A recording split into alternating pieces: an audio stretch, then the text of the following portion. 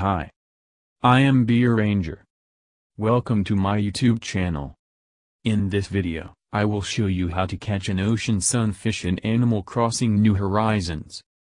Enjoy! This rare fish has a fin shadow at sea from 4 a.m. to 9 p.m. For north, it only appears from July to September. For south, it only appears from January to March.